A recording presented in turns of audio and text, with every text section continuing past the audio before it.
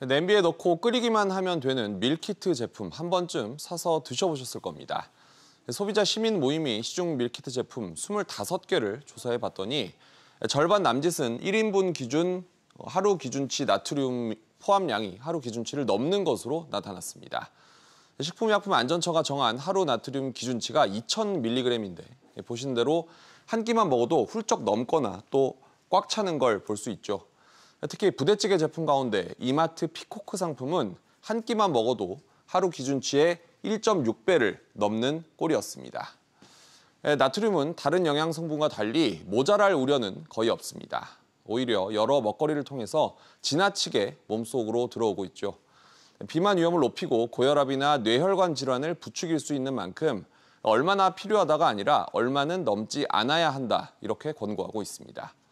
네, 앞서 보신 대로 밀키트 한 끼만으로도 나트륨 폭탄인데 김치 등 다른 반찬까지 곁들이면 더 이상의 설명은 필요 없겠죠. 우리나라 성인은 하루에 3,000mg이 넘는 나트륨을 섭취하고 있습니다.